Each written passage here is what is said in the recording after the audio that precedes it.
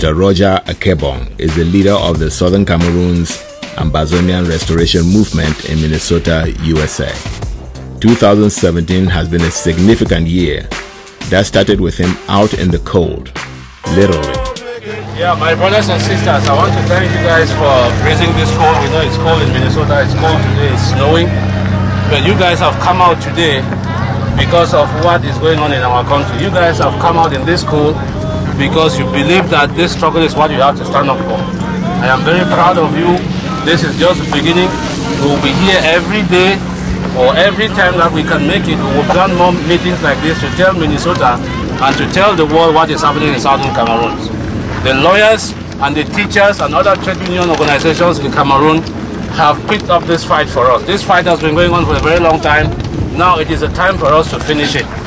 You can see most of your placards that you have here. If Mr. Ambe can turn the camera around, you can see those who have been killed. And all of us standing here today is to support these people, to tell them that wherever they are, you did not die in vain. And I hope that the rest of Minnesota, those who could not make it today, they will hear those of you present here today and tell the rest of the world and tell Minnesota and tell the United Nations that it has unfinished business in the southern Cameroon. On May 20th, 2017, I sat down with Mr. Akebong and had a general conversation with him about the significance or lack of of the day, the struggle in general, and the state of affairs in the southern Cameroon's Ambazonia itself today. I started by asking him to introduce himself. My name is uh, Roger Sakumbom, and I come from Tingo. And uh, I am Augustine Ambe uh, from Bafut, obviously. Uh, only Bafut people answer the name Ambe very well. So, nice to meet you, my fellow uh, Tuba County uh, resident. Yes, but, but that was that was in the past, though. We don't have Tuba anymore, do we? Well, uh, you know, we always have to remember where you came from before you became Bafut, and we stayed in Tuba. That is true. That is true, and that's and that's really what uh, we're trying to reclaim the way we were, we were organized in the past. Because the way we were organized in the past was was really bringing government to the people, exactly. and that's why you had the villages, then you had the, the councils, and and and then they had their native authorities. Yes. And they were taxed at that level, and the money was used to improve that particular region. Exactly. So that's I, I think the whole restoration thing is, is is is trying to bring us back. Yes, yes, yes, yes. We have gone full circle, and we have discovered that what used to work for us in the past is what is going to get us through in this struggle. So we're looking for ways to go about organize the people the way we used to organize in the past and empower the people to get these colonizers out of our territory. Yes, what I used to say is that we were actually a free people, mm-hmm. and then they took us and put us into a, into a French colonial empire. Mm-hmm.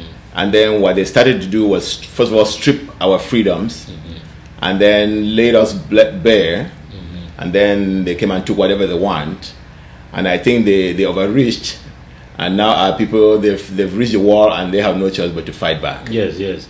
And you make an excellent point there because the reason the British had an indirect uh, rule system of administration in our territory was because they met all these checks and balances within our traditional cultures. Mm-hmm. Say, for example, in the Jamguting, where I come from, the fon that is head of the the, the administrative unit in the village mm-hmm. has some he has a Kwifon Okay. And in all of these villages around, and I think it is the same in the southern region, you have these checks and balances that were in place before the British came in. And when they came in and they saw those checks and balances, they build on it. Yes. And that is why you had that system of indirect rule. And that finally evolved into the House of Chiefs and all what you have as administrative setup that the British left us. So we had something going for us already before these people came in. So they were not actually teaching us anything. No, no. Like I, like I already said, they, they were instead trying to, to diminish us so they can effectively colonize yes, us. Yes, yes, yes. Well, I mean, uh, uh, that was a very good introduction. Um, today is really 20th May, and you know what 20th May is in the in the history of the Southern Cameroon and Ambazonia. Yes. Um, um, and I and, and the reason I, I chose to talk to you today is because you are the leader of the Southern Cameroon Ambazonian Restoration Movement in Minnesota. Yes. And um, and I uh, I know that this that, that you've been very active. You've been very your leadership has been very assertive and very upfront. And I just thought that today is a good day that I'd bring you in and let me let me let me have you make a statement about May 20th. What do you remember about May 20th? Well, um, as far as May 20th is concerned, it is one of those days that the fears of our forefathers, our grandparents, and our parents who were before us were finally coming into fruition.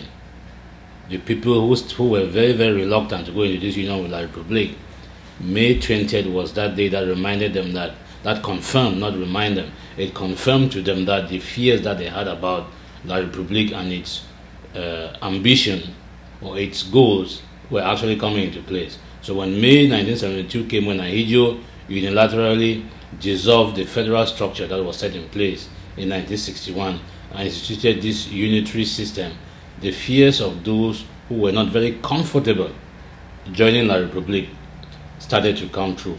And they started fighting tooth and nail to make sure that this, uh, um, this unity thing that they were talking about, that was a system, that was um, some kind of uh, a smoke screen, let me put it that way, a smoke screen to advance their policy of assimilation and colonization of the territory of the southern Cameroons. Mm-hmm. And, and you know, um, it's May 20th was actually previewed never to happen. Yes. Meaning that they actually put in the fake constitution, because that was not really a constitution. It was not a constitution where we sat as a people and said, okay, here are the two alternatives. Let us make these two alternatives that we voted for to become enshrined in a constitution. Mm-hmm. It's the fake constitution that they had. They actually wrote there that uh, May 20 would never happen. Mm-hmm. May 20 would never happen without the decision of Southern Cameroonians uh, as a people, not as a, not not as a, a unitary state, mm-hmm. including La République. In fact, Ahidjo uh, at the UN said that they would never tamper with that because if they were to tamper with, with, with the state of Southern Cameroon, I mean, they would run us over. Yeah, and you, you make an excellent point there. And when you listen to some of these uh, people who talk about the constitution, I'm talking particularly about Issa Tchiroma, mm-hmm. who is a spokesperson for La Republique. When you hear him talk about the constitution, how much they want to respect the constitution that is in place today, you just look at them and you laugh at yourself. Because the original uh, tapered constitution that Ahidjo put in place mm-hmm. clearly stipulated that this structure, the federal structure, could never be dissolved you could never dissolve that federal structure. So it wasn't up to the people of the south of West Cameroon or the people of East Cameroon to come. To, no, it, it was a structure that was supposed to be set in place on in stone. Yes. So it was written in stone. Yes. You could not wipe it out. Yes. So there is no way for Issa Tchiroma to stand up today and begin to talk about a constitution because they started violating constitutions from the day this union came into place. Yes, I, I, there's, there's one thing I want to clear up front, okay? Mm-hmm. And the thing is that when we speak of Ahidjo or Issa Tchiroma, it sounds like we talk of an of an independent people who are who are initiating evil against us. I think we need to let let everyone know that it is actually the French who are engineering it because because to be and this is really an honest statement from me. I do not believe mm-hmm. that if if La République du Cameroun was an independent country, these people will be as vicious to us as they have been. I think, I think they've never had their independence, so they are totally being engineered and coached by by by the French, who are not only doing it from a long distance because they have representatives on the ground. Uh, there is no serious meeting between two Cameroonians, if you want to use their word, or or one Southern Cameroonian and, and, and, and, and a person from La Republic where there's no Frenchman in between. They call them coopérants. Yes. No, I, I agree with what you are saying. But the reason we are referencing those particular people mm-hmm. are the people who rep- represent themselves, who pose as representatives. Those are, those are the faces we see. That, those are the faces we see. Mm-hmm. Those are the faces that people see in the southern Cameroons. Mm-hmm. Those are the people they listen to on radio, on television. Those are the people who give instructions to the people to be picked up and locked up, brutalized and killed. So when we speak about them, and let me finish this point, you make an excellent point that they are teleguided by France. But what I want you also to remember that that school of thought is very, very right. Where I differ with that school of thought a little bit is that you have people like Thomas Sankara and all the other uh, well-known African leaders who have stood up to France. Those people stood up to France because they believed in the sanctity of their people. Yes. They believe in the, the values of their people. They believed in taking their people, making their people grow into dignified people in their various countries. Mm-hmm. These particular people that we are talking about, they are stooges. Mm-hmm. So it is important that we make that differentiation. When we ah. when we talk about France, it is important to remember that these people have no national aspirations. They have no nationalism in them. Because if they had a little bit of nationalism in them, with all the education that they have, they have that ability to take a step back and ask themselves that what France is asking me to do to my people, is it right for my people? Those are the kind of questions that Sankara asked himself, and that is why he stood up against France. So we have to always put that in context. Yes, and uh, I, I was I was I was gonna say that even though they are being teleguided, they are being coached. They they as human beings always have a right to say no, like the people of Southern Cameroon are saying no, not right now. Exactly. So yes. they have always had. So I'm not trying to say they are they don't have a blame. Ob- Obviously, they are sellouts, mm-hmm. and they are. I mean, they totally betray not only themselves but the whole African spirit. yes. Because and, and this is very serious. Because and I, I'm going to say this very clear. All Africans who were colonized by the British, by the by the by the Portuguese, by the Spaniards, they've all freed themselves. France is the last colonial master in Africa, and I think just uh, picking on what you said, and I think I think that um, it is a shame that francophones are actually comfortable being colonial subjects, the only colonial subjects that still exist in Africa today. Yes, and, and we can have a whole show debating that. Yes. And I hopefully we can get some of them to come on the show and let us try to talk about this. Actually, I have been talking to some friends that I went to school with here who are from Togo mm-hmm. and all other uh, French uh, colonies mm-hmm. who, are, who live here in Minnesota mm-hmm. that we need to get together and start talking about these things because when we talk about these things as a people, from as African people, it has a different context. When we talk at, what- about these things as Southern Cameroonians and and people who live in La République du Cameroon, they see it differently. Mm-hmm. And the reason they see it differently is because of the kind of education that they were given. Yes, I, I, I wrote when you said something. I wrote education there because I wanted to come back to that mm-hmm. because um, the education they have is education that's designed by the French. Mm-hmm. I think when you read the uh, the Accord de, Accord de coopération, the, the the cooperation agreements, the French actually is one of I think it's like the first line that France will design your education. Yes. And the education they've designed for them is the education of slaves. Uh, and, and to be honest with you, when you listen to to uh, to some of the debates that have been going on about our struggle, these people cannot. You know, there's a, there's a thing where if you if you start being educated, they first of all start introducing a scientific thinking process, meaning that you have to argue based on evidence. You argue based on a, a certain logic that guides thinking, So- mm-hmm. because you and I have to agree on something mm-hmm. in order to have a debate about that thing. Yes. And if you notice, they have never even agreed that we exist. No, they don't. They don't agree that we have a history that is separate from theirs. Mm-hmm. And so, whenever you start a conversation with them, they want to go and make uh, German colonization the beginning of our history.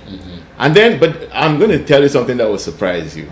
I sat the other day, and because they do that all, all the time, I sat one day and was saying, okay, so German Cameroon was done with in Versailles mm-hmm. in 1919 Yes. meaning it was taken the the- First the- World War. meaning it was taken out of out of out of existence Yes. as a legal entity or, or any legal territory mm-hmm. okay Yes.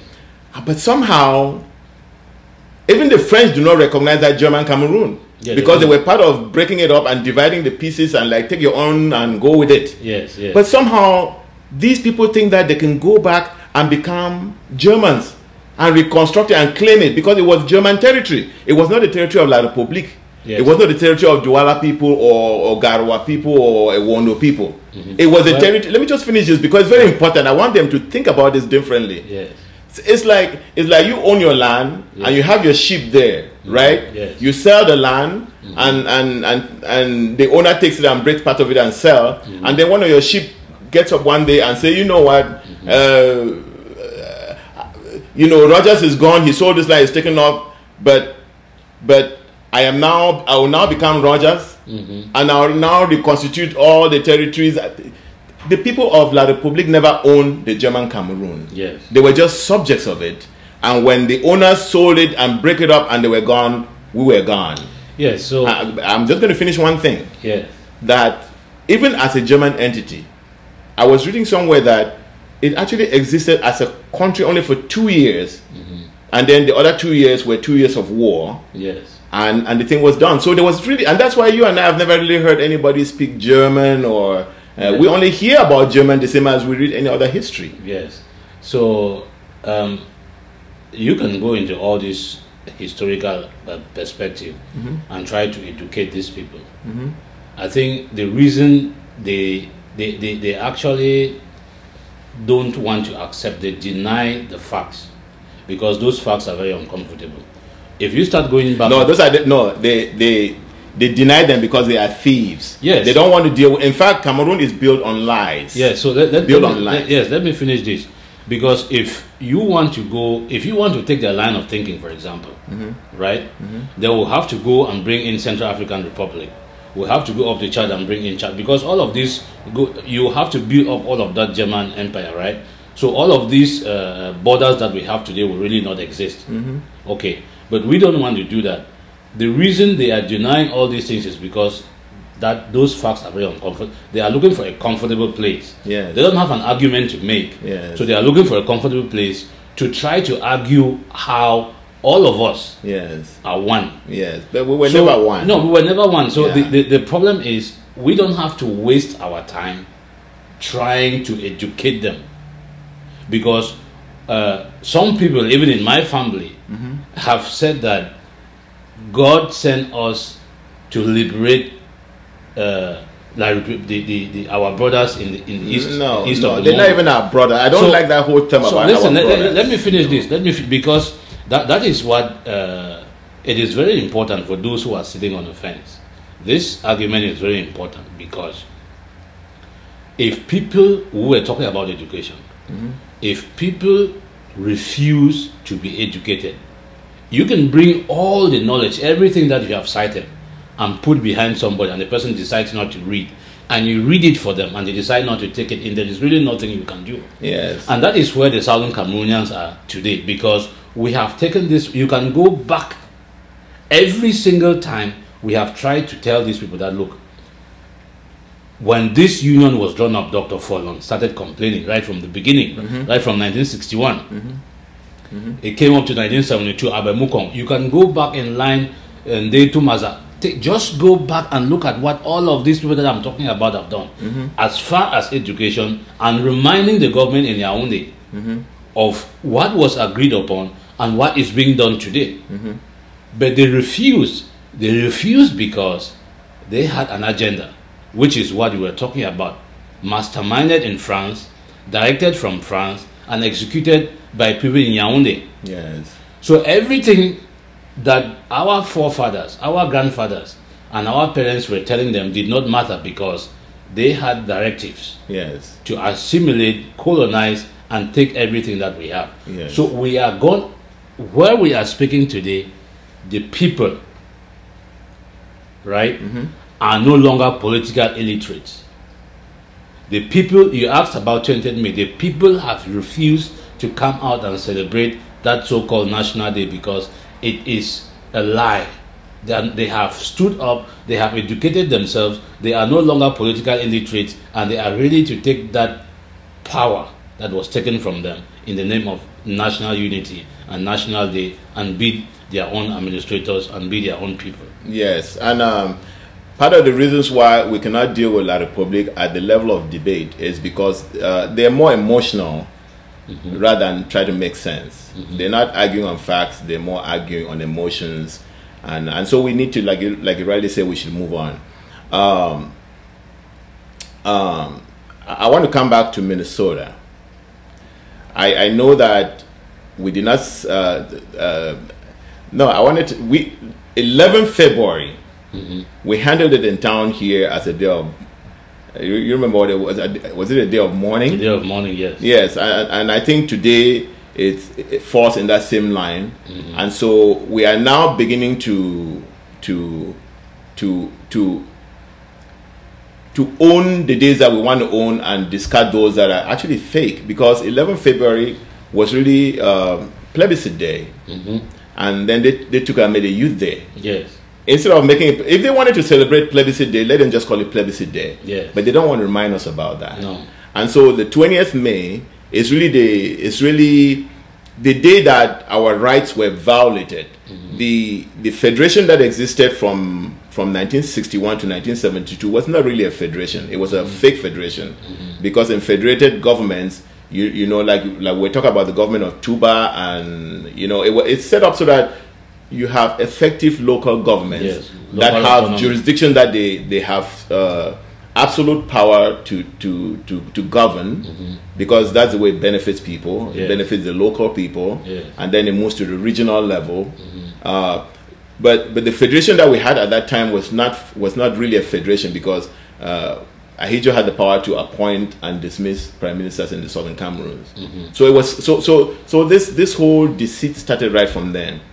Um, now I want to uh, let let's I wanted all to start with 20th May because the, it is the day, Yes. but I want us to to uh, to go right from the beginning. You've been in the struggle for a while Yes. and and I really want to I want I want to see I, I'll do this in stages okay? I, I want to see what what you thought about this whole grounds the whole evolution that that brought us to where we are today since uh, beginning from the lawyers.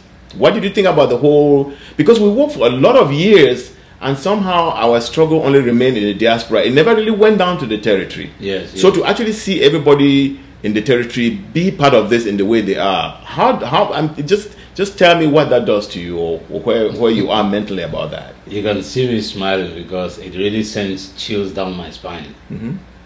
Uh, but, but before, let me address the issue of 11th February, that we, the event we had in town here, yes and what is happening in 20th May. okay 11th of February, we call it a day of mourning. We were mourning because our hopes, that is the day that the British, as our former trust territory administrators from the United Nations, and the United, in complicity with the United Nations, mm-hmm. handed us to the La Republique. Mm-hmm. Because you remember, you, and I we were not there, but if you can look at the photos and everything that was done, when the British flag was taken down, the southern the, the, the southern Cameroon's flag was never raised. no. The, the colonial flag the colonial flag was raised. was raised in the place of the British flag, yes. And that flag, it was not handed. It was handed to Ahidjo. yes It was never handed to Foncha. So you can see all those uh, uh, machinizations, all those plans that were put in place to make sure you can. It, so from the very moment of our so-called independence, you can see what transpired on that day. So we were actually mourning on the 11th of February. The, lo- the loss of our sovereignty Yes, the loss of our sovereignty because that is when the pain began. yes Today, it is an insignificant day to us, mm-hmm. and that is why there's nothing happening in town today. Mm-hmm. The 20th of May does not mean anything to us. We had a duty to our forefathers, and especially to those who were against this union with La Republique, to do something on the 11th of February. Mm-hmm. Because that is the day we were supposed to be independent. Mm-hmm. That is the day the majority of every single poll that was conducted in our territory prior to 1961 had that option of independence as the most popular option. yes But unfortunately, when they got to United Nations, it disappeared. So that was, and that, that was what United Nations, alongside the British, did to us. So we had to be mourning on that day. So today we are not doing anything as far as 20th May is concerned. Coming back to what the lawyer started and and the teachers. When I told you that this sends chills down my spine, is because I was so elated. I was very happy. You made a point that we had just been talking to the diplomatic people, talking here abroad. It was like we had lost the people. When you go back home and you're talking to the people, it's like the people don't know what you are talking about. Mm-hmm. But if you watch the burial of one of those young men who was buried in Kumbo with our flag, and what some of the people who came for that burial were talking about, you could see that the people, you thought that that history, that the La Republique had succeeded in getting rid of that history. Yes. But you saw that history coming out at that burial ground, telling that young man who died that know that as we are burying you here, you died for a cause in which we believe, and we are not going to let you die in vain. So the people have come around from political non-entities to experts who are actually taking the Republic and sending the Republic running up the hills in less than six months. Yes. So you can imagine that what these people thought they had succeeded in doing in 56 years, the people turned it around in six months.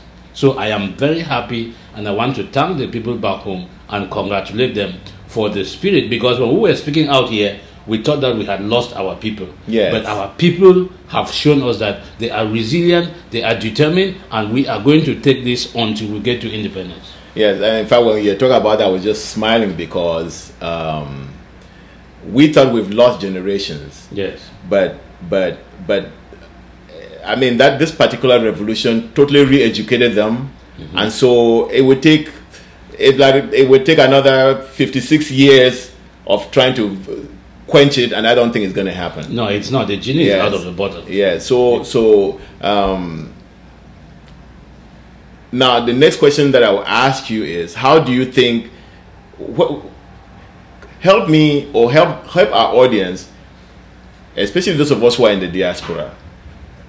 Where do you think we are now since uh, November November eighth? I think November eighth was the day that the, the lawyers made the speech and they, they, they, they threw the tear gas and this whole thing started, and then the manchos came in. Mm-hmm.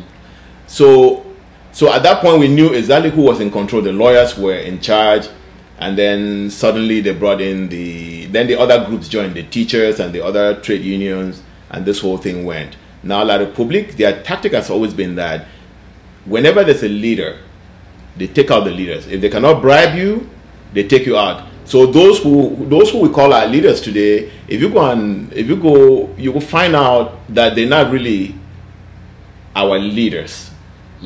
Because any effective leader that comes, like Gorji Dinka, they kick them out. You know what I'm saying? Uh, the Mukongs, they're out. The Ngum, uh, Ngumnes, they're out. Uh, or they're in jail. So tell me, since since this groundswell, tell me where where do you think where where you think are, we are as far as moving forward? Well, I think La Republique did two things that worked for us. Mm-hmm. Because part of what we have been doing for all the years that we, they deprived us of opportunities. Mm-hmm. And that's why you and I are sitting here in Minnesota. They threw the Dinkas out because the Dinkas did not want to toe the line. Mm-hmm. Or they were asking the questions that should be asked. Yes, they they, asked. they didn't want to toe the line. Yes. Toeing the line simply means don't ask any questions. Yeah. Sit, and if if there if some crumbs fall from the table, you guys can fight for it and, and enjoy it if you can pick up any of those crumbs. Mm-hmm. So what they did was they enabled us to be able to live to fight another day, as Bob Marley would say it. Mm-hmm. You know, we didn't run away from the fight, but we took they took ourselves out to be able to live and fight, to be able to keep that light burning, to keep it in front of the international community, to keep reminding the United Nations that look, you guys have unfinished business in the former British uh, uh, Southern Cameroons that you guys merged with La Republique. So our our presence in the diaspora has been able to keep that flame burning. So La Republique has able enabled us in every single uh, dictatorship or whatever you want to call it, freedom fights and stuff like that. The, po- the what the what those governments, those oppressive governments know is that no, if you cut off the head, which is the leader, then the fight is going to be over. So if you lock up Nelson Mandela for 27 years, then the rest of black Africans in South Africa, they, they will not be able to do anything. That was not true. Okay. We live to see that that was not true. Yes. So when the fight is something that the people believe in, when it is the people's fight, it doesn't matter how many of the leaders you kill or you put in jail, those people are going to stand up, they are going to live to fight another day. And that and let me make this point. That is the difference between us, the British, former British Southern Cameroonians, and the people in La République. When Ahidjo and the French went after the Maquis and all those things, and the Omnibus and all the other people, we ran and came and we gave them shelter. Everything died there. Mm-hmm. They came, we took them in. They did not use our territory as a springboard to build themselves up, reorganize themselves, and go back to confront what they were running from. They came back and become and became comfortable, and now have become instruments of the colonizers against ah. us. So we did not do what they did. We are using this opportunity that the Republic has pushed us out of the territory as a springboard to be able to go back and fight the Republic. So they did us a lot of good. They did the struggle a lot of good. That's what I'm trying to say. So what I hear you saying is that we had leadership that created the groundswell, Yes. and that La Republic has dispersed that leadership mm-hmm. either into exile or into jail. So what I hear you saying is that there is no leadership now, but the people are continuing the fight. Is that what you're saying? Yes, the people, the fight is the people's fight now. There is no way. All of the okay. For example, let's let's look at this, right? Uh, Dr. Balla, uh, Dr. Fontaine, and all the other people, uh, uh, uh, uh, lawyer Ayapo, who have been locked up now. Before they were picked up by La République, they were asking for federation, mm-hmm. right? And I remember in one interview well, that I watched, Balla was with what I did as a minister, my, my Barrow, one of those guys. And he told him that, look, I am talking to you today about federation, and you are calling me an extremist. Somebody who's not compromising, somebody who doesn't want to listen. That's what Balla was telling him. When the time will come that you want to sit down and talk about this federation I'm talking to you today about, and you're calling me an extremist, you will not even find the people to talk with. So his prophecy was right. That is what Bo- Balla prophesied mm-hmm. when he sat in that interview and was talking to me, Mebara. So the people, whatever leadership thought at that time, the people of the southern Cameroon have said that the only thing they will settle for is the full restoration of the sovereignty of the southern Cameroons that they were denied in 1961. Okay, I'm going to give you a proposition. Okay. Yes. I can tell you one thing that the people of southern Cameroons have never been cowards. The people of southern Cameroon have always delivered whenever they have a strong leader who comes and says, This is what we need to do. And I'll give you examples. Uh, when Foncha came and said, We don't need to be part of Nigeria, Mm-hmm. the people of southern Cameroon went with him against Nigerian interests and against British interests. Mm-hmm. When Fru Ndi came up in the 90s and said, uh, We don't want this one party dictatorship, mm-hmm. in the face of very brutal dictatorship, the people of Bamenda and the people of uh, southern Cameroon Ambazonia went with him and they won. They won whatever the victory was then. You know what I'm saying? So there is no doubt that our people have have have uh, have proven that they can deliver anytime. But the two examples I mentioned always had one single leader who came and said, This is where we, we're going. And I think what I'm trying to get from you, and I think you've answered that partially, that the leaders have been scattered. We're trying to regroup. Would you agree that we're trying to regroup? Yeah, well, Because I'm trying to, I- what I'm trying to, to, to get, I want to get a sense of, of where we are going and who is leading it. Mm-hmm. Tell me, tell me where, tell me how your mind is in terms of that question. Well, where we are going, what I know is that we are going to the mountaintop. Let me use the words of Martin Luther King. Mm-hmm. And that mountaintop is Buea Mountain that I'm talking about. That's where we are going. Mm-hmm. We are not, we are never going to go back to Republique. How we get there or who takes us there is not very clear at this moment. Okay.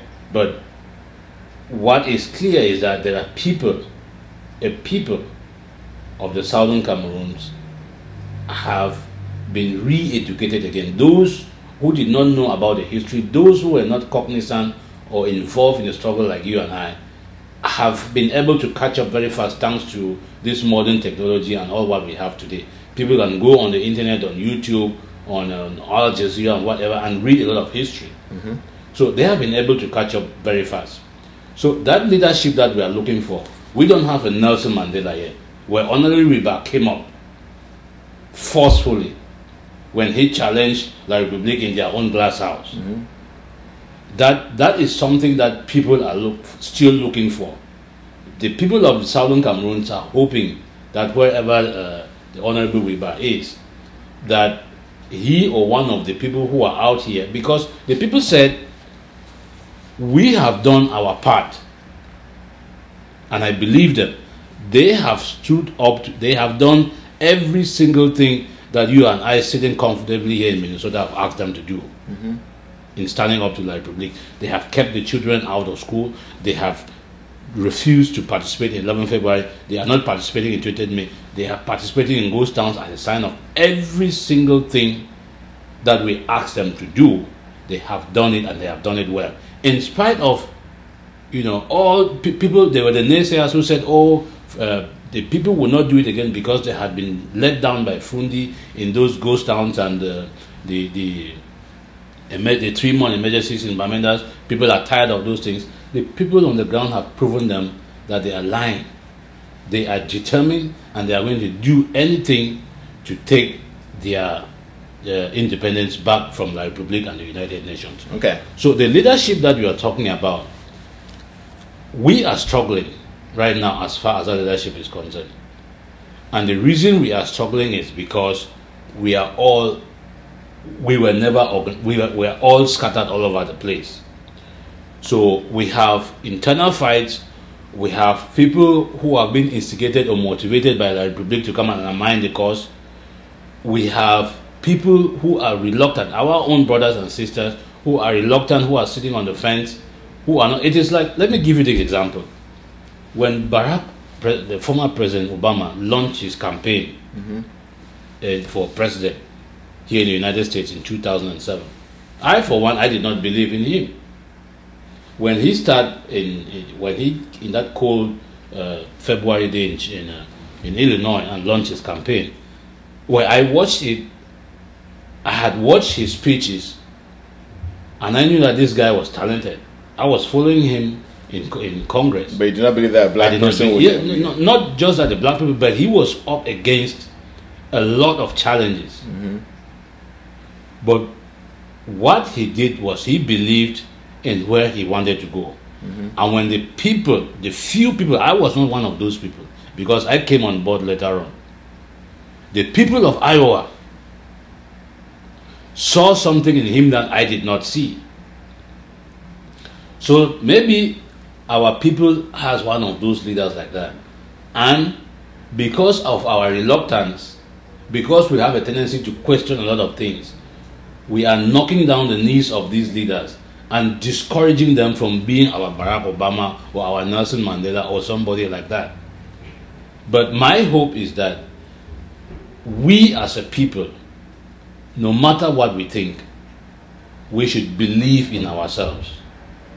We can disagree on how we want to get to Buea, not on whether we are going to Buea. Let me say this, okay? Uh, just to make a comment about Barack Obama, I did not even, I didn't, I wasn't even following his campaign until the night after Iowa. That's uh, in New Hampshire. I actually spent time to listen what he was saying, but uh, that was after Iowa had proven that he can actually win. But let me say this: you see, what is happening in our struggle right now is what normally happens in every struggle, meaning that a groundswell comes. Uh, and then everybody wants to be a leader. Everybody shoots up. So, so these things are stages, and we are in stage 2 and and this issue is not is not is not unique to us. Uh, it, it is in every struggle.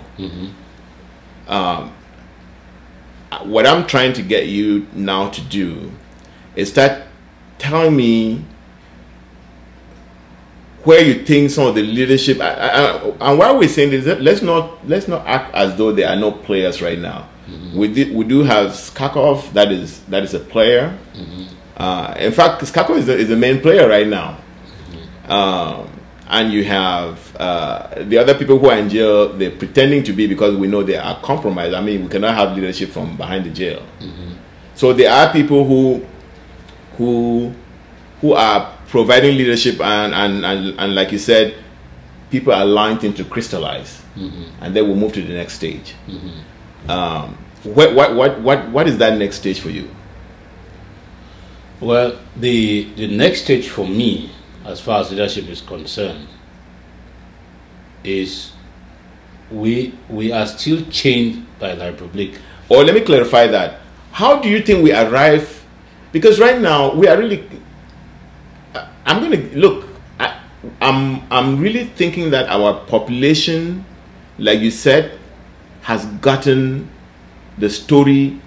They know the problems and they know what the solutions are. So they're really staying strong on their own on their own determination because there's nobody out there cheering them. You know, SDF had Fru Ndi who used to go out and SDF power, blah blah blah. You know what I'm saying? Mm-hmm. We don't have anybody doing that right now. We do have leaders who are saying okay, who are saying, let's not do this, let's not do that, let's not go for this ghost town. And but as we talk, there's a lot going on in the background. Mm-hmm. But in terms of in terms of our population, they I don't think they are aware of that. Mm-hmm. So so I want I want you to start telling them, okay, so here we are now. What is the next step? What should they expect? And, and I guess in telling that, you also be telling our leaders what what what the or, or the potential leaders what the next responsibility is. Yes, yes, and you you make a very important point because the people cannot just be waiting indefinitely. So to me, the next stage now is asking La Republique administrators to leave our territory. That is the next stage for me. Because okay. Yes, that is the next. I think that will be the last stage, though. No, it's not going to be the last stage because if you wait, the last stage. First of all, let me ask you: Do you believe that there's a, a leadership vacuum in the struggle right now? There is a leadership vacuum. Okay. There is a leadership vacuum, and that is why I told you that we are depending on the people. Okay. Because there is no leader who has a clear cut, who has owned the struggle and has defined to the people exactly where he wants to go. There is actually no forum for the only leader that I can look at now that the people on the ground understand and that the people of the ground have seen is Wirba. And up to this point that we have we are talking. It's not Tassang? No, well Tassang is a leader. Mm-hmm. Has done a lot. Tassang actually is doing a lot of work now in the absence of Wirba. But I am talking about somebody. But, but, but we, was talking about West Cameroon, though. Well, it is. Let us wait. Let us ask him if he's still talking about West Cameroon today. Because if he's still talking about West Cameroon today, then he will not be on the same uh, pedestal with the people because yeah. the people have moved away from West Cameroon. So the last time he spoke, he was talking about West Cameroon.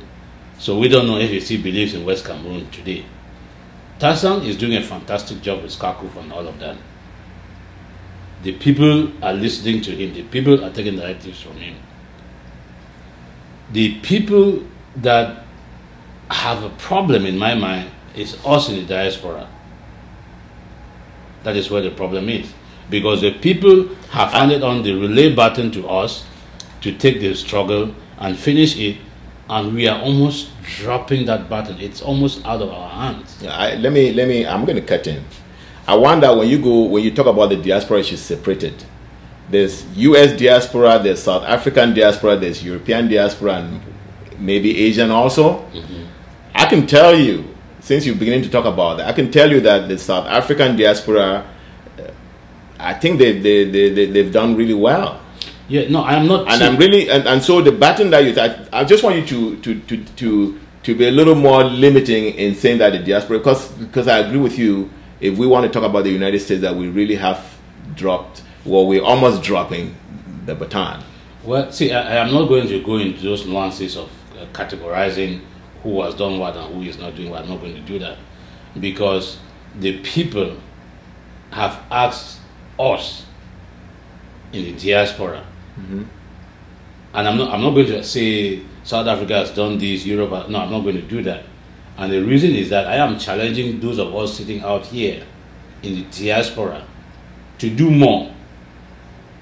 So when you start breaking things up, saying, "Oh, these people have done," see, then it lets people sit around and say, "Okay, let us let the South Africans people do it because they are better." No, that's not. I don't think that's what we. I, I think when you do that, I think it's more. It's more. Uh, because at some point we have to take a look at look at the the the spreadsheet and say who is doing what and, and so that way people who are not doing well should know that you know what you you're not catching up. They know themselves. I- yeah, I, They- they- and I and- really and we can talk about Minnesota here since we are in Minnesota. right? yes yes and Yes, they, they even here in Minnesota there are people who are sitting on the fence, there will always be people sitting on the fence. Yes. yes. and the, what we need to let those people understand is that when you are sitting on the fence, what you are actually doing is that you are helping the, the, the other side. You're helping the enemy. you're helping the enemy, right? Because when you are sitting on the fence, you take a lot of people who have that divided mind sit along the fence with you, and then you undermine the struggle. So you might not say, "Well, I don't really know what to do, uh, so I don't know what to do." No. When you when something is clean and clear, crystal clear for everybody to see, and you decide not to act, you decide not to see what for what it is, see it for what it is, and you sit on the fence. What you are doing is you are actually giving your You're giving comfort to the enemy. you're giving comfort to the enemy. Yeah, let me, let me say this, okay? I think we, uh, I, I want us to move to to some other topic right now, but but but I want to I, I I want to make this observation. Mm-hmm. Like I've already said before, I think what is happening to us in our struggle, there is in every struggle there's stage one, there's stage two, then there's stage 3 mm-hmm. and in that stage two, that which is where we are, there's a lot of this confusion. Mm-hmm. And um, and I think that we're gonna we're gonna go to stage three very soon. And I'm saying that so that we all don't don't think that we're losing it or dropping the baton, like you said, because I think um, there are people who see faster, they, they, they, they carry on like you. Mm-hmm. Then there's some people who want to make sure that it's safe before they do it. Mm-hmm, mm-hmm. You know what I'm saying? Yeah, yeah. Yeah, there's some people who, if you invite to come and sit here and talk, they will not. It is not because they don't believe in the struggle. They, they they don't just have as much courage like you do. And so and so we're in stage two, and things are crystallizing. I think even even in our leadership structure, uh, I think it's even crystallizing a little better now than it was like a month ago. Uh, I think in, in, in December we, we were when we're out there in the cold. Uh, we thought we thought things should be done yesterday, but I think that we are now actually even you. I think you're now more sitting back and thinking about it more than you were very fiery a few months ago, and you wanted everybody to do everything. Yeah. You realize that in my chemistry, I used to know they used to say that when you hit that when you when you when you steep when you produce a, st- when you introduce a, a, a, stim, uh, a stimulant uh, to to atoms, they rise and perform above their level, and Yes. then when things are coming normal, then they all drop back to where they need to down. be. Yes, yes, yes. So I think that, but but the one thing we do agree, and I think that's what excites you and I, is that our people have crossed the, the Rubicon. Mm-hmm. Our people know they, they they're not going to drink anybody's Kool Aid anymore No, and they, they're not afraid of any guns anymore. No. Because the public used to think that Emily would threaten them, they would fall in line. Mm-hmm. I think they brought all the weapons and pulled them back. They cut the internet and they've restored it. I think they're running out of options. Mm-hmm. So our our people should just stay, continue doing what they're doing, and and continue to listen to each other. And we'll move from this stage, and then our leadership will also crystallize itself, mm-hmm. and that will be our stage three. yes. Um, the leadership thing is, I mean, you have a lot of people. What what SCACUF has put together, it is bringing people from all these various pressure groups that have been fighting the fight. So those people are still out there, even though SCACUF has this structure that is put in place for these people to send their various representatives to come and work with SCACUF. But those people, like uh, the uh, Chua Yaban, the AGC, and the other groups, uh, the SCNC, they are still doing their thing. So what I'm saying as far as leadership is concerned is that everybody, everybody who has been doing what they doing, believe in what they are doing. So they are still doing that while SCACUF is there.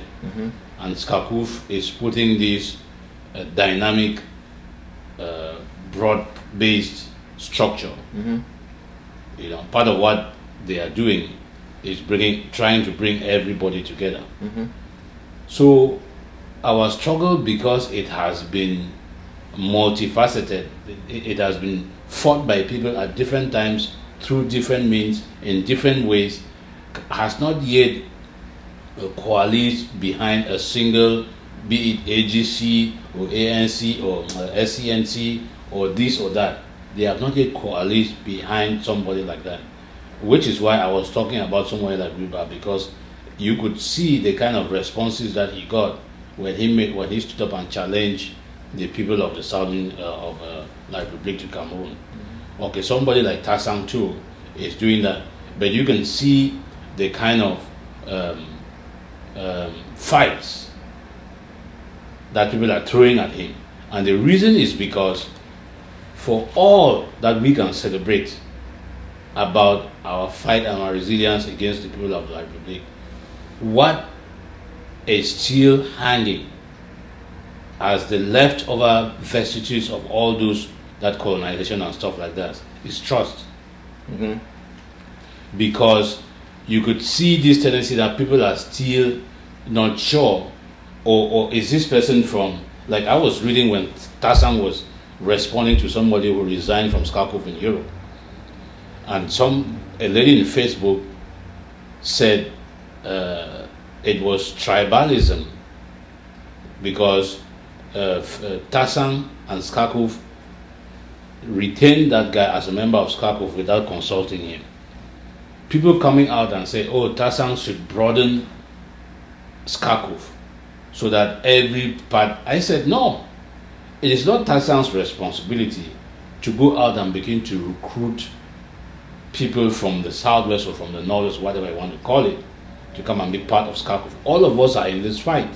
And you come to the fight no matter where you come from. And you put yourself at the service of the people. You put yourself at the service of the fight. And so, what is left over? What is holding back the fight? What is holding us back now is that trust issue. That, oh, it is maybe uh, that suspicion. Yeah, but it, it, it usually, like I already said, it usually happens at this level. And I do agree with because look, we are in a fight right now, and what we're looking for is, is for our fighters to step forward and we'll follow them. It's not it's not it's not for anyone to go and bring someone. No, it, it's a fight. Yes. and and people come with it based on their own motivations. And this kind of leads me to asking you um, you know other people there was a time when nobody nobody even was thinking about the fight.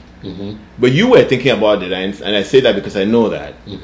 Um, the first day when it was cold out there you were out there protesting uh, you you you you're not you're not hiding. You're not you're not hiding to fight like the public. You're not you're not shying away from from telling them who you are and what you want. I want to know what motivates you. What why why why are you doing all this when other people are afraid they are they don't care or they just want to deal with their individual lives? Why are you spending this energy and your own resources and and and and and, and staying in front of the fight?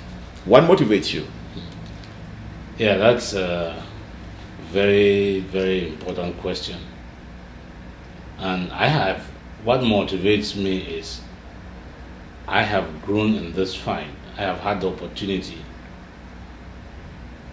to grow under the shadow of my father, who was very instrumental in this fight, Albert Mukong. There are, I will not blame people who have not probably had that kind of exposure that I have had to the fight. Mm-hmm. So I might not blame them. That might not some. Yeah, because they did not have the mo- whatever motivated you. Yes, they, they, they might not. That is part of it. The other part of it is that I know that we have li- we were lied to, and if you know that whatever you are living, that you are living a lie, you want to change that lie. So I have read, I have looked at it in every single way that you can look at it. It is a lie. I went to school in Banso, in St. Augustine.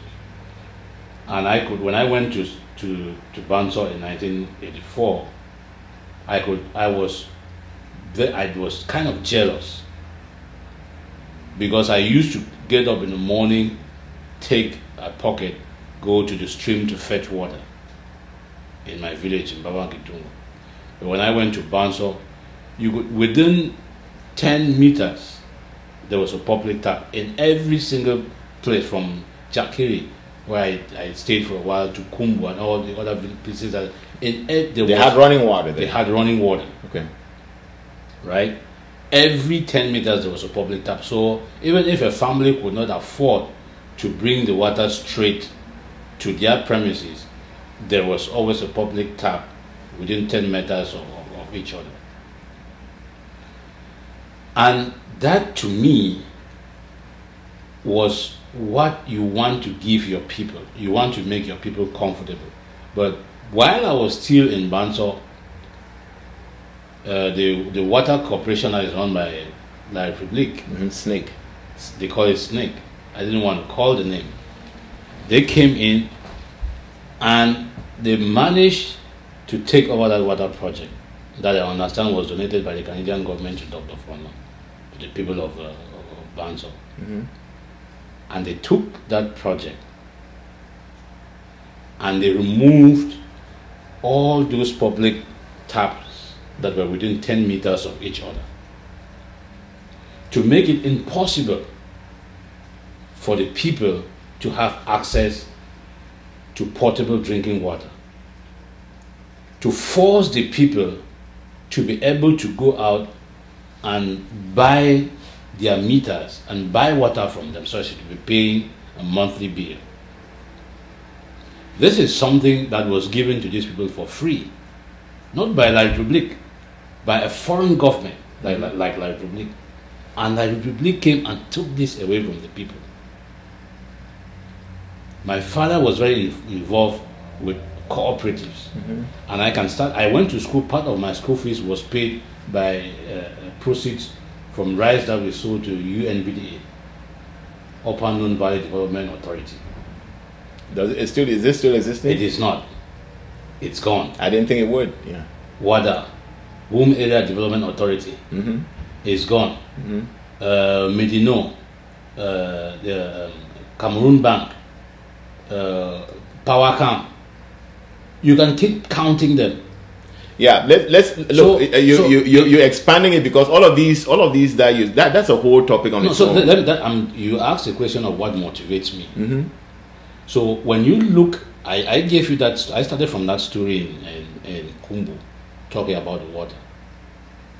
So when I look at some people have not had an opportunity to see those things. So mm-hmm. what I'm saying is, if you did not have that opportunity to be inspired by the people who raised you, these are some of the things that inspire me too, because I see what belongs to the people, what the people can rightfully enjoy, that is being taken away from the people in order to punish them and exploit the little resources that they have.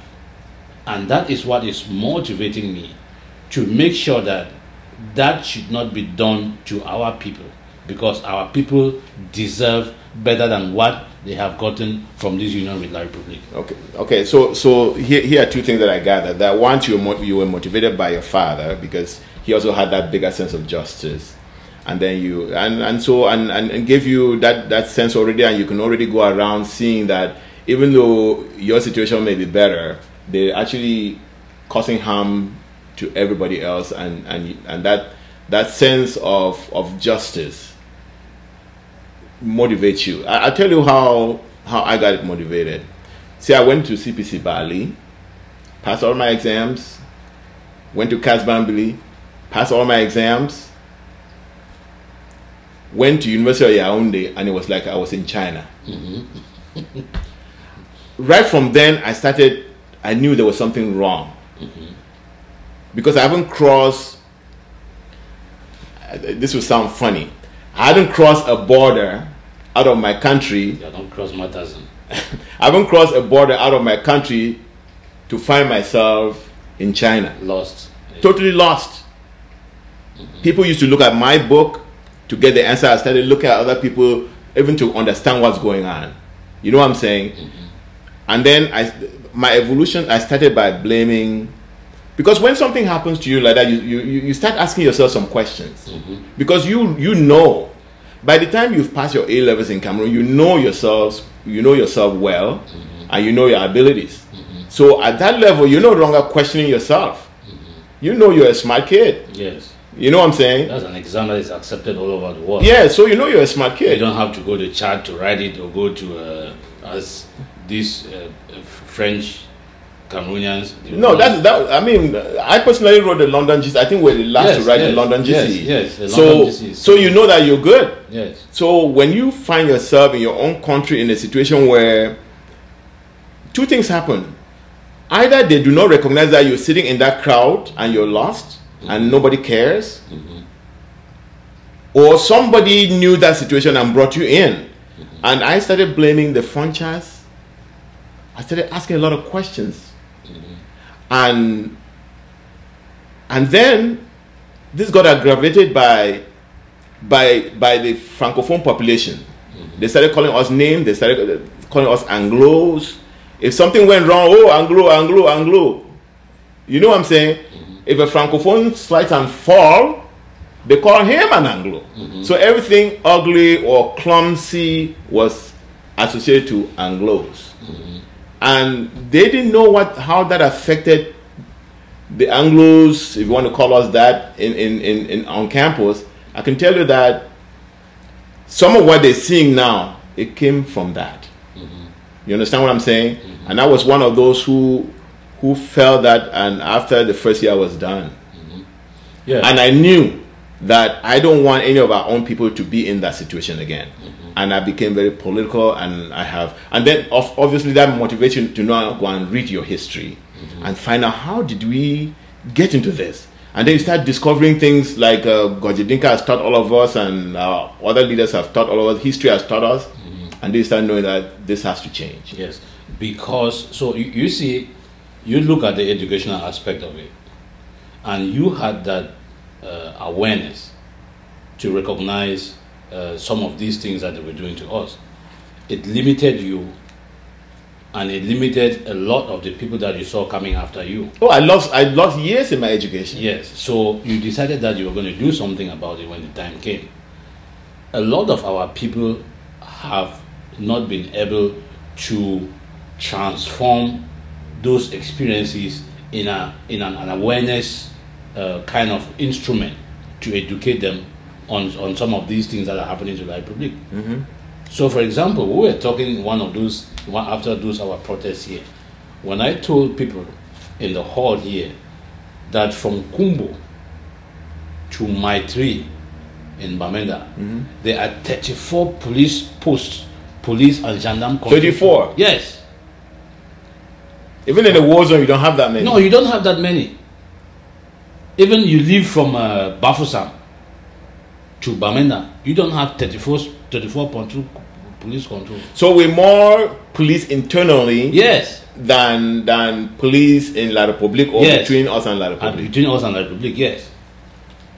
So if you drive around and you don't see that as a problem, so it is now that these things have happened and we are talking about it that people are asking, oh yeah, wait a minute, there's actually something wrong with this, which means that at some point our people had accepted this as a way of life. Yep, there's another control. Everybody gets the ID out that they are waiting for them to be asked or to get out of the car. Now you have to drive. The driver has to stop at the control. Everybody gets out of the car and then go through the police post and then go on the other side and then board the car. Okay, but I just hold it there. Let me let me. I think I think our people need to know that in the United States you can drive from California to New York, and that's you. You're not talking about you're not talking about a country. You talk about actually a continent. Yes. You can drive from California to New York unless you're driving above the speed limit. Nobody will stop. you. Nobody will ask you anything. Yes. So people, and I'm, it's because it's because you you you said people have taken a way of life. No, that's not that's that's not a way of life. Yeah, yeah people. When I say So that, people should know that it is not like that all over the world. Yeah, no. What I say that is that people have come to accept that that it is normal. Yes. So, but now, when we are talking, like I was talking to, in that hall to people living in the United States who have come, and they did not see. So, when you start pointing out these things to people, you you are talking about what inspired you because you had that awareness. But for some people, they just saw it as a limitation. You and I were some of the people who were fighting for an Anglo-Saxon university. We have to fight for. Why do you want to live in a country where you have to fight for everything? No, but look, I it live okay. Sometimes uh, look, I'm, I'm trying to really keep this particular show narrow because uh, if we if, uh, if we take some of the topic, can you imagine that English is the like the number one language in the world? Uh, but in Cameroon, when you speak English, it, you, it, it's it's associated with something not very good. In fact, I remember in Yaoundé, they made it so bad that you don't want to be identified as an Anglophone. Yes. What they call an Anglophone. You know what Yes, I'm saying? yes. But actually, it's only when you travel then you see how actually primitive they are Yes. and how lacking they are. No, you know, you don't have to travel before you. We have touched this before at the earlier part of the show. I have talked a little bit about their education, right? Mhm. You can see that when you sit to talk to them, they don't have any depth. They are too shallow. Mhm. These are people who were trained to believe that France is their home. Let So me let me say something, okay? I just want to say something about what you call shallow. Africans, as as general, are very smart people, okay. But what has happened to to people in La République du Cameroon and also in other francophone countries is that their their educational program is is directed from France and and I'm saying this, I, I, I'm I'm I'm it- it's not scientific. It's just my observation, okay? And I have noticed, and I, but I've read a little bit about this, that the French have what they call um, um, Cartesian thinking, meaning that if you tell them that this is a a piece of paper, they would say, well, I mean, they would say, well, I could I could say that's not a piece of paper. And so you spend time not not agreeing that this is a piece of paper and then move forward to to to to make a decision about what pieces of papers do or don't do mm-hmm. so that you actually accomplish something in life. They and so that's why that so so so when you see when we come to talk about our struggle, they don't want to accept the facts of it and and then you see them start saying well, you know what? Let's let's not let. In fact, they won't even use the word Southern Cameroons. No. So they're not only lying, but they've been taught to say that your point of view may not be the only point of view. And so you spend time in going around something that you can actually say this is a rock and you pick a, an egg and it cracks, or you pick a hammer and it'll tell you, you can prove that's a rock. Yeah. So, so when I don't want people to think that we're saying that they are dumb. No, the, the French have messed them up so much that, and then including the fact that we, we, we our resources are allude to them. They don't want to let us go. So I already concluded that the whole of that is more emotional. It's emotional thinking. But I think that there's a reason why all African countries have freed themselves except francophone countries in Africa. There is a reason. well, Having said that, let me let me add this. Because I think we as Southern Cameroonians have a responsibility and we need to know that we are that Southern Cameroonians are the most um are the most qualified people to mm-hmm. talk about France in Africa. Mm-hmm. Mm-hmm. Because the francophones they are, they are, they are the francophones that's all they know. So they've accepted it as a way of life. yes. But we came into that colonial empire as free people with a liberal, very progressive education. And so we saw it. And uh, part of the reason why it took us 56 years before we're doing what we did is because, first of all, we went there and we saw it.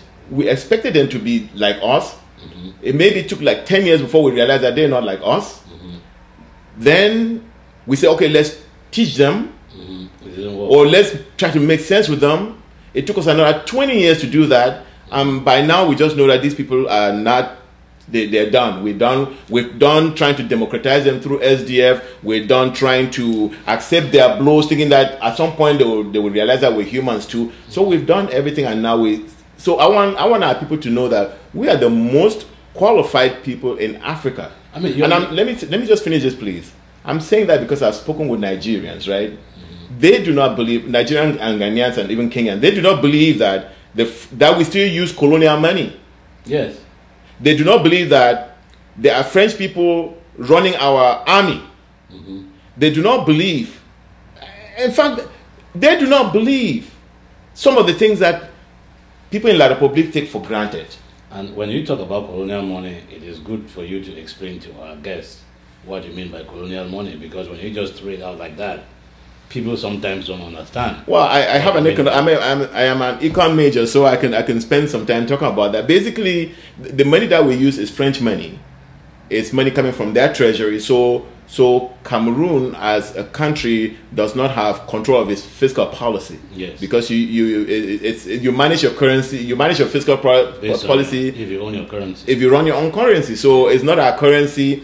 Not only that, for each dollar that we earn, they keep. Well, I was reading somewhere that they keep fifty percent now. they keep it. They keep it in their treasury. They keep it in their treasury, and then if they want to loan it to us It- again, it- they it is loan not it. you talking about it. It is their former president Jacques Chirac said it just recent that uh, if you ever do away with uh, French Africa, France will not be a country that it is. Yeah. So it is not us saying it. It is the French themselves saying it. So um, to try to elucidate whether you were saying that if these people look, I don't. Part if you want to respect somebody, right? you have to be able to look at it from what is this person's capability or intellectual capability. I'll give you an example. Recently, we had uh, an event in town here that the promoters invited uh, this uh, francophone artist Ngea Laroute, and she came to town in the midst of everything that is happening. Even if, as an individual, she believes that Cameroon should stay united, Minnesota would not be the place where you will walk into the hall and say Cameroon is one and indivisible. I don't know if you heard about it. I No, I wouldn't even go to such a concert. I wouldn't even attend So- that. So, so, uh, So that that tells you that those are people. or she actually said that, She said that. So those are and and and the and the show continued. yes, those are people. I challenge her. Those are people that don't have that intellectual ability. Either you are so full of yourself, and you don't even know where you live or where you are, that you can blot out something. Well, your your your your, your own brothers brought them to town, well, isn't it? anybody can do whatever they want right it is culture anybody i see i don't and this is something that we can discuss further sometimes um the, the we have lived i enjoy music from south america from colombia uh, all over the world i enjoy music from cuba i've never been to cuba right because I love the culture. So music is something else. Music has no boundaries. There are people who enjoy rap music in Cameroon and they are rapping and doing all those things. They have never been to America. Let me tell you something, Epa. so let- let me finish. I- I- hold your thought. I know you can hold the thought. Let me say something here. Mm-hmm. And I want to say it because of what you just said. When La Republique took us over, Mm-hmm. were listening to reggae, we're listening to high life. That's the music that was in the southern Cameroons, because we're part of Nigeria, Ghana. You know what they did when they took us? They, they, they first of all, Mamfe was like the, the leading town in the, in the southern Cameroons. Mm-hmm. Okay, they refused. They cut off Mamfe, mm-hmm. cut off. Did not. So they cut us off, and when they cut you off, mm-hmm. they not only cut you off through destroying your economy, destroying your government, destroying your. When it came to culture, they totally smashed it, and that included the, the music. So if you think that you're going to tell our people, hey, you know what, we're done with these people, but continue to listen to their music, continue to buy their ice cream, and continue to watch their TV, continue to no, you need to let them know that, and I'm saying it because of me, right?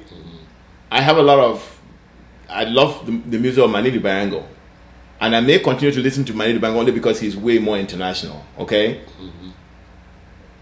But that your typical Makossa, that you may think that I'm just listening to Makossa, but it comes with so much there, and but, the, but unconsciously they eliminated what was yours and mm-hmm. then planted that. Mm-hmm. When Southern Cameroon was still Southern Cameroon, we used to have the Kumba Lido Bad band. Mm-hmm, there was Bali Modern Jazz. If you think those just died because they couldn't do, no, they were they were killed. Yes. Okay, Yes. and you kill them by not playing them playing them on the radio They're not promoting. by not promoting them by not giving them the help mm-hmm. you know what i'm saying mm-hmm. so don't so you'll not catch me attending that concert Yes. in fact i think there was a. I think it's BaretaNews that did right that francophone musicians that haven't supported our stro- because they come to the united states every summer and milk from us mm-hmm. if you think that they only milk us back home no that is part of their exploitation here they come and we they come and put the CD and and, and, and, and play. they don't even bring bands because they come and play the CD and show up and make money. We need to cut that. Yeah, so what I'm saying is that the people themselves. So I, I, I cannot hold myself and say that those are people that don't have that ability. Either you are too full of yourself, or you don't even have that little ability to understand where you are. Yeah. No, she's sitting with Anglo fools. Yeah. If you go and ask her, she would think that if you don't talk to me in French, No. tu- they say tu es baminda. You know, I never knew, used to know that when they say tu es baminda, it means you're stupid. Yes. I so when I left the place, they've even developed more that has even come crashing. It's not just that you speak English; it's that oh, you're from Bamenda, you're stupid. But but it's Bamenda that has changed. It's given Bamenda has given them way more rights than they could ever dream in their whole life. Exactly. Exactly. I always, I want- I'll always be proud of Bamina. Yeah, oh, absolutely. I grew. I'm an Abakwa boy, and I will grow nowhere else. If you ask where should I be born again, I'll be born in Bamenda. I want to say, I want to, I want to, I want to change this topic a little bit. Our people have spent a lot of time. Uh, even our lawyers, they've always thought about going to to international forums, going to the UN, and all these, and they've been doing this. I think since 1960. In fact, since, since I mean, you know, we have been part of an international territory, and maybe that's why we always think. Tell me what you think about all these trips to the UN and looking to the outside for our salvation or for our liberation. Is is that something we should continue to do? Is there is there um, is there some some savior that's going to come from the international community? No, uh, I think we have exhausted all of those avenues to to solve our problem. Because if you listen to even to the UN people, I think they refer to our problem with. I think there is a. I think it's in Inner City Press. There's a guy on Inner City Press Yes, that has been. he's very he's very very nosy and Yes, he has been pressing the United Nations and he has even run into problems because of that. And at times, if you listen to some of the things that he posts, the UN clearly defines our problem as a local problem. So if somebody that you are looking to to be an arbitrator comes and tells you that no, your problem is he has already taken sides. Okay, so so so having having decided that that because we've been looking f- we've been we've been looking to the UN for too long. Mm-hmm. So what do what should we do? Well, um, I was talking to. Since the UN is not coming through, Yeah. uh, in fact, in fact, it's, it's created in a way that we can't even come through the door Mhm. because Yes. you have to be something else to even come through the door. And, and I think that's what makes La Republique thinks that we are wasting our time. But let me say that I want to make, I'm going to make a statement. I, I'm, I want to, I'm trying to, to hold what I'm thinking and have you talk, but I'm going to make this statement that, you know, the power of government is only second to the power of God. Okay? And politicians believe that they can play God. And when I talk about politicians, I, I also include these international organizations. But they obviously are not God. And that's why anything that has moved in our territory has been moved by our action. And so when I ask you, because our the old our our fathers and our forefathers still believe very much in that process, mm-hmm. and I still hear too much of it going on in our territory right now. Mm-hmm.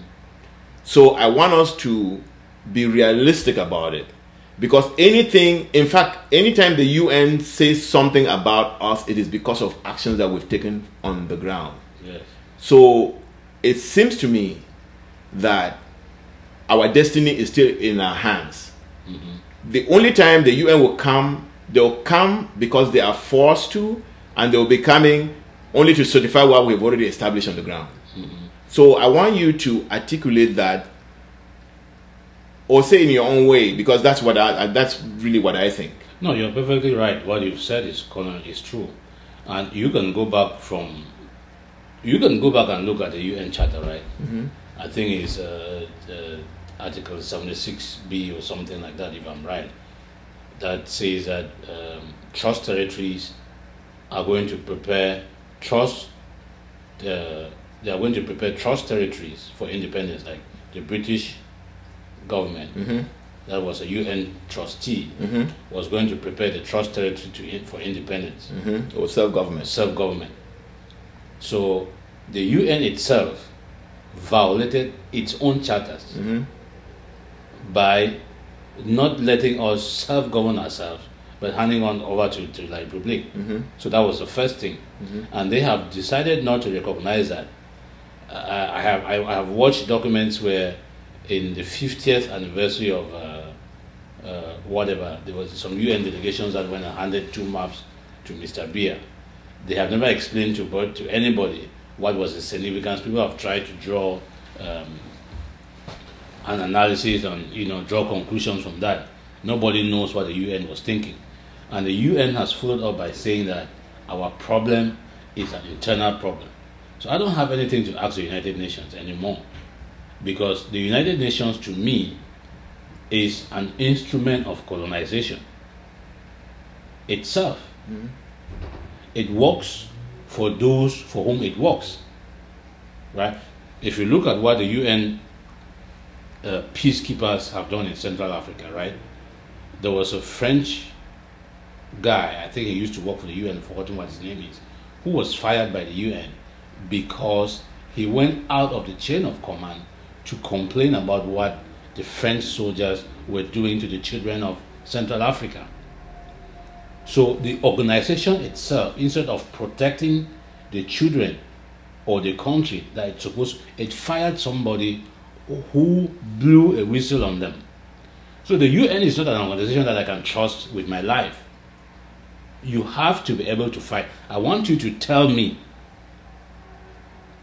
any country in the world that has had independence signed by the UN and given to it. So let me ask you this. So what what what um so what should our people be doing? Our people should be prepared, and let me say this our people should be preparing to get La Republique out of our territory. That is the only language that the UN understands, and that is the only time that the UN is going to come in to fix its mess. There is nothing like go, even if we have to go to the international court, or we're going to the international court or to the World Bank to settle what the Republic has taken for us for all these 56 years what they have stolen from us, what they have exploited from us without royalties, and all of that. Those are things that are going to be sought out in court. what we have to do is to ask La République to leave our territory. France did not just uh, leave the battle Dien Bien Phu, right? Those, those people had to fight to get France out. France did not just leave from Algeria, right? Russia did not just leave from Ukraine in 1956, right? So all of these countries had to fight. I listed one of these countries to one of my uh, my elders here, who was telling me that oh, we just have to go to a diplomatic mission because uh, La République will crush us if we try to fight La République. Well, you have quoted the Bible here. I think in the Bible there is that battle of Goliath versus uh, David and Goliath, right?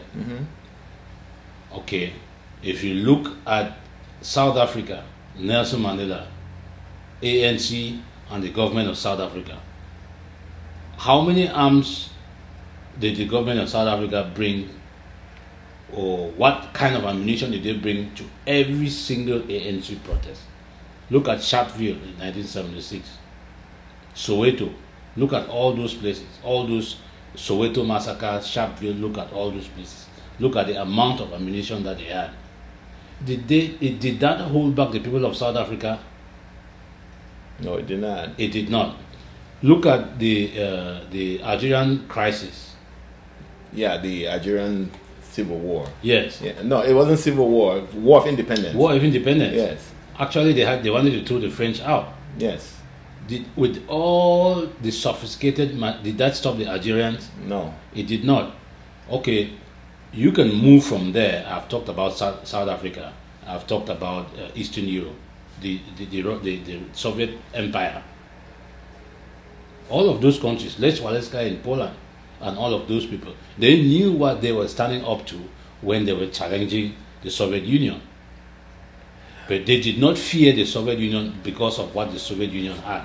Our people have proven and the only thing that is going to liberate us from La République is that we have to fight for what we believe in. You ask me what inspires me. Mm-hmm. Nelson Mandela has said it, Dr. King has said it. When you live in life, there is something that you have to believe in and for which you, are, you can be prepared to die. For which you are prepared to die. Okay. And the people of the southern Cameroons, including myself, have seen this struggle that it is a just cause, it is right, it is our duty to fight for our own liberation and self determination. And like I already told you, um, uh, that the people of Southern Cameroons have never shied away from a fight. They're not cowards, and they have never been frightened. So, um, and, and we can continue the strategies of our liberation in, a, in another show. I really want to thank you for, for taking the time to come. I, I'm sure that will continue to bring you in so that you continue to share what what makes you become who you are in our struggle. Uh, obviously, it's not about liberating yourself because you're outside the place. You're doing well. I'm sure your family too is doing well. So so so you continue to also let or help other people be able to uh, think much further than themselves because when you make your environment better, it also makes your own life better. That's right. And uh, and with that, I want to thank you for coming. Yeah, thank you too, and I want to thank you for having me. I want to thank the people of Minnesota for being so instrumental in this struggle. You know, we have not talked about a lot of what Minnesota does, but Minnesota, That's another show, but but we're we're we're, we're dealing with the big picture, and I thought Yes, we should go with it. yes. Yes. Thank you, thank you for having me, and long live Ambazonia.